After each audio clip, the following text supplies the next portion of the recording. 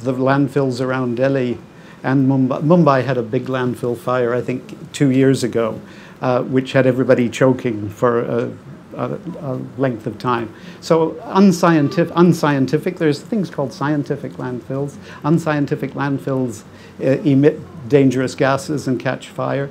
Uh, that's just one. The air pollution is worsened by bad waste management. That's just one aspect. And of course, with open defecation and the relationship to stunting, it's about babies having internal parasites and the parasites competing for nutrition with the child's body.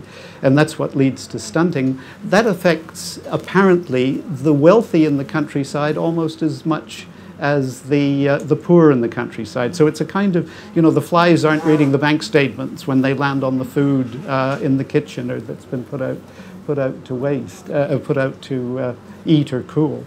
The, uh, so this public health question, I, I, think, is one that has the potential to unite people if it were more widely understood. That we all have an interest in keeping a cleaner environment around the house, but to make that pervasive in rural areas, I think, is much more difficult. The, the, the life expectancy in the slums in Mumbai must be terribly low. I noticed that you, you mentioned 55. Yes, uh, yeah. Um, but in, in my experience was lower. Lower still. Mean, and, yeah. and, and, the, the, you know the people who were doing that work, they kept a tally of who was going to be the next to die, and it was routine for people mm. to die of pernicious lung infections or gangrene at you know age 20, age 25. Um, and it was again, it was like you know, this, there's this idea that people who do that work are oblivious to it. They don't care. They are painfully, painfully aware that they're shortening their lives by doing this.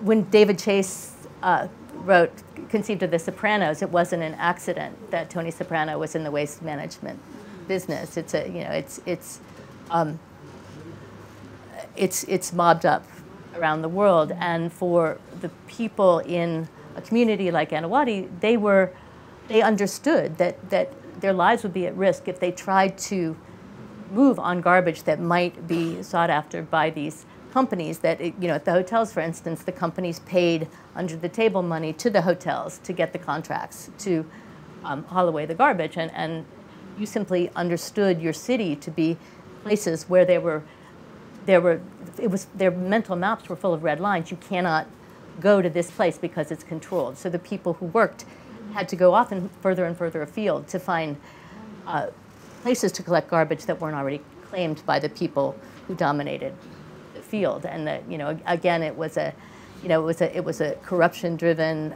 economy, payoffs and private agreements, that they had no hope